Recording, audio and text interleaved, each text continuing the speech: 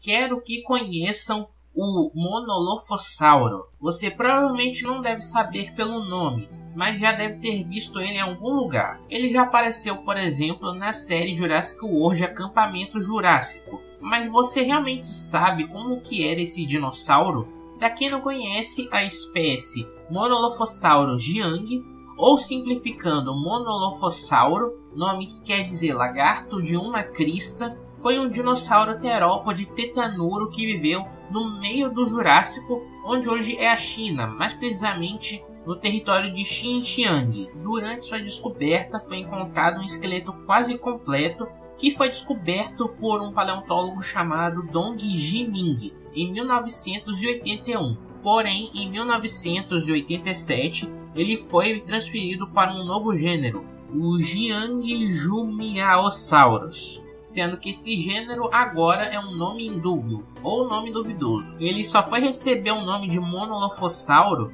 em 1992 pelo mesmo paleontólogo e em 1993 Wayne Grady associou ele a uma nova espécie, a Monolophosaurus dong, que ultimamente é considerada uma nómina nuda. E hoje em dia só existe uma espécie de Monolophosaurus, a Monolophosaurus jiang. Ele não era um dinossauro tão grande, ele tinha até 5,5 metros em condições normais e uma massa corporal de 475 quilos. Porém, novas estimativas de 2016, feitas por Molina Pérez e Lahamed, mostram um tamanho maior de 7,5 metros e uma massa superior a 710 quilos. De aparência no geral, ele não se diferenciava. Tinha uma cabeça grande, braços pequenos, pernas longas e principalmente uma cauda rígida. A única e na verdade a coisa mais marcante desse dinossauro, seu diferencial, era sua crista, que ele possuía no alto do focinho, formada pelo alongamento dos ossos dessa região. E ao contrário do Dilophosauro, como ele tinha apenas uma crista, ele recebeu esse nome, Monolophosauro, sendo que a palavra mono quer dizer um e lophos quer dizer crista, palavras dessas utilizadas do antigo grego.